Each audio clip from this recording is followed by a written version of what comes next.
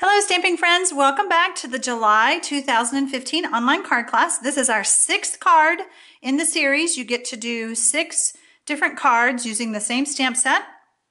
This one is a really fun fold and you're going to remember to stamp inside the card as pictured on your instruction sheet, okay? Um, I forgot to do that on one of the videos, so um, I wanted to just point that out. Okay, so here's the card, and this is what it will look like finished okay? And you can always layer something else in there, but this is really pretty because it's all white. It's got a white border. So the stamp set that we're using, of course, is the watercolor wings and the matching uh, framelit, which is the bold butterfly. These are the things that you will need to put this card together. A piece of vellum cardstock, a piece of Whisper White that I have run through the um, Decorative Dots folder, a piece of Tip Top Taupe that's already cut, your card base, and your envelope. Okay, so that's what you get in the kit when you do the online classes with us. All right, so in playing with this fold, I wanted to show you the boo-boo I did. It's a little cockeyed. Okay, can you see that? It is not squared off. I'm not so sure if it's a bad mistake, but it is one that I couldn't fix. Okay, so um, I want to show you how not to do that. First of all, I'll just show you what I did. I started cutting at the wrong end instead of the other way. Okay, so that's why I ended up that way. And I was like, oh, it's on the bottom. Now what do I do? So I flipped it over, closed it, and did it the right way. anyway, just wanted, I love to show you my boo-boos because if I can do it, you might do it. And I want to point out to you, measure twice, cut once. You've heard that before. All right, I'm using the De Delightful Dijon to show you in hopes that you can see it better on the video. I don't know if that helps or not, but um, what you get in your kit will be the Whisper White card base, okay? All right, so I'm taking this to the Stampin' Up! trimmer and I have it lined up. First of all, I have scored it at the four and a quarter and your cardstock will be scored when you get it because that's how it comes in the kit and I have lined it up at the three inch mark. Don't worry about writing this down. It'll all be in your instructions. And so then I am using the gray cutter. The lighter gray is the scoring blade. I don't need that, so I've got it parked out of my way.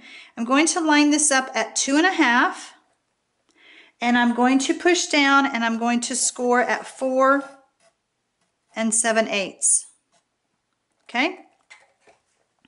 Then I'm going to take it out turn my cardstock, measure it, put it back at the three, come back, whoops, don't cut in the wrong place, line it back up, and it's actually lining up at the three inch mark, all right? So then I'm going to pull it towards me until I get to 5 eighths.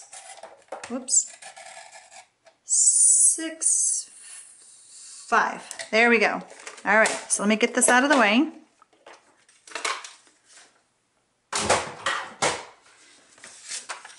Okay, so the way you do this card is that you push the bottom until it starts to flip and then you kind of get it, see how it's squared off, see how much nicer it is. I knew immediately when I did it the other way that I did it wrong. So I'm going to take my bone folder and I'm just going to give that a score.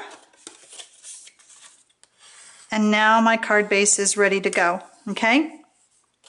So let's take it to our white one. Let's do it again. Push, push there, flip it, line it up, crease, there. You've seen me do it two times, okay? So the other thing I want to do is I want to stick this down. So I'm going to take my snail. I mean, it is a flip corner card, but I don't necessarily want it to be flipping all the time. You could, um, if you saw my commercial for this video, I did leave it flipping, but it, it's really supposed to go down. Okay, so now that's ready. I've already stamped on the inside so that um, for the sake of the video, since I wanted to show you how to do the fold. And I've already stamped my butterflies, as I mentioned in the first video. I like to do that ahead of time. And I, so all I need now is to start putting my card together. I'm going to use some snail for the Tip Top Taupe layer. And that should, if I measured correctly, line up perfectly. So there's my layer. And then we love to use our liquid glue. Okay. Just a little thin line everywhere. And then we'll lay that down. Okay. I've already stamped my butterfly and the body. And I want to use my dimensionals, of course. I like to put two on the body because it is a big body. It's a big butterfly. We don't want him flying away. Okay, and if you want, you could you could fold his wings up. Your instructions don't say that, so we're just going to leave it like it is. They just all seem to want to fly, I'll tell you. All right, so then I've already cut out the smaller butterfly using the uh, vellum, and I need to use a glue dot to hold it on because you can see through the vellum. I don't want anybody to see um, like a dimensional or something. So I'm just going to take and put this right there on the body. Whoops, maybe. Huh, doesn't want to let go of my scissors. Let's try that again.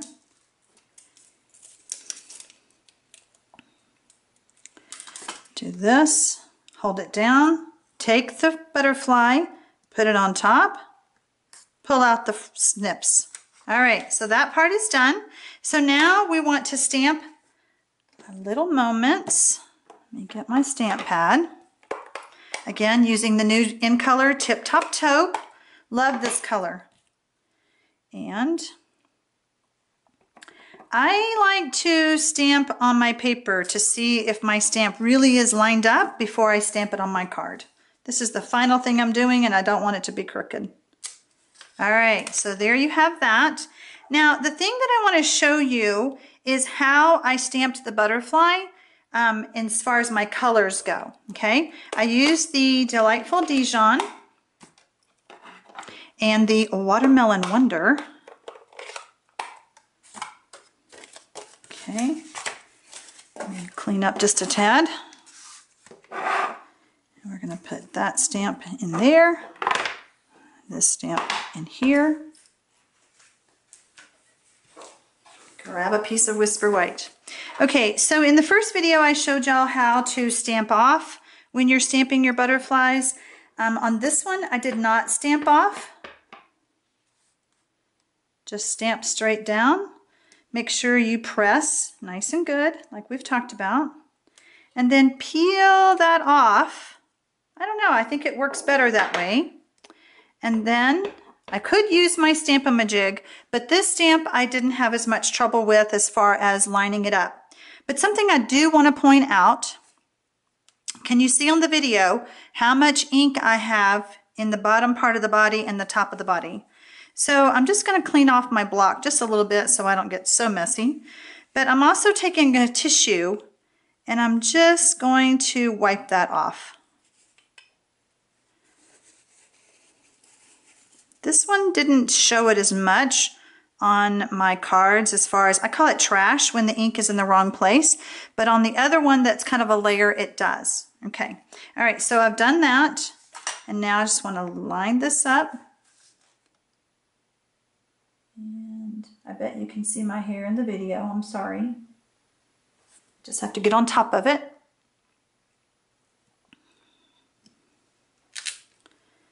And there you have it. Okay, so that's how I stamped the, the colors that I used and how I stamped this one. And then of course, after I cut it out, then I will stamp the body. All right, thanks for stopping by and we will see you next month.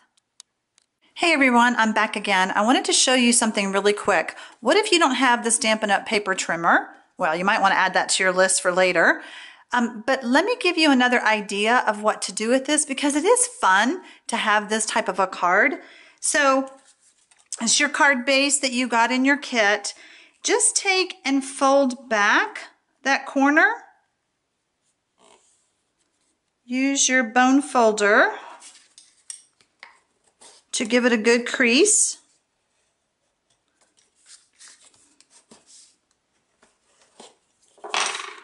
Then take your layers that came in your kit and just stick them on like this.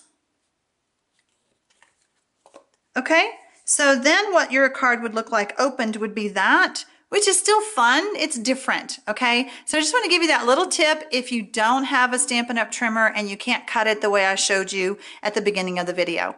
Thanks for watching.